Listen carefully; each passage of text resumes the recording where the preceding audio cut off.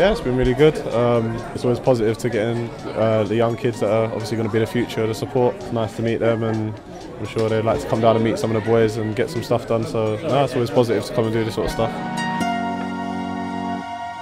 It's great, it is, yeah. Uh, I'm surprised that we got such a good turnout as well, you know, so uh, it's really nice. Thanks everyone for coming down and hopefully the signings are good for them.